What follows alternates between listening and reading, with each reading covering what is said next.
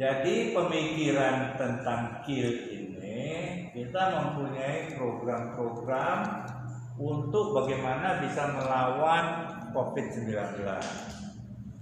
Saya mulai dulu program utama kita. Yang pertama itu adalah mengenai home hospital.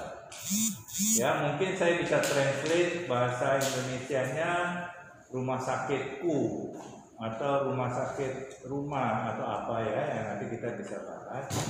Uh, home hospital ini adalah program kita memberikan satu edukasi kepada setiap rumah tangga yang tadi saya sampaikan bahwa betapa pentingnya kita mengatasi klaster rumah tangga. Memang kita tahu bahwa orang yang terjangkit banyak di hotel, di mall, di pasar, tetapi sumbernya dari mana? Itu dari rumah tangga. Itu udah pasti. Jadi dia kena di rumah dulu baru dia bisa kenain orang lain di luar gitu. jadi sehingga tujuan kill ini memberikan edukasi supaya setiap rumah tangga terutama kepala rumah tangga harus membentuk home hospital. Ya saya boleh mengatakan bahwa get your home hospital before you hospitalize. Anda harus punya rumah sakit di rumah sebelum Anda di rumah sakitkan ke rumah sakit orang lain gitu. Nah, cara-caranya bagaimana? Nah, ini perlu sekali. Sehingga kita bisa memagar. Kita bikin pagar. Pagar-pagar supaya tidak bisa masuk. Nah, pemagaran ini simpel-simpel saja. Misalnya ada tata cara kalau kita pulang ke rumah apa yang harus di, dilakukan ya. Lalu misalnya eh, di rumah telah disediakan eh, fasilitas 3K. Oh, 3K itu kebersihan, kesehatan, keamanan lah ya 3K. Nah, setiap orang, setiap kepala rumah tangga ini harus mengerti persis ya protokol kesehatan untuk menjaga atau membuat rumahnya menjadi rumah sakit.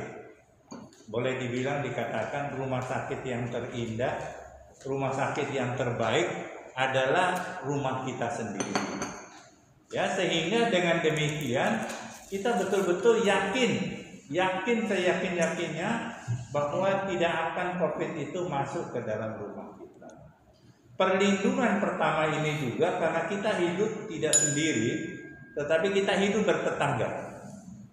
Sehingga peran daripada puskesmas, ya revitalisasi puskesmas sangat penting. Home hospital itu banyak mewajibkan. Nanti kita akan tulis.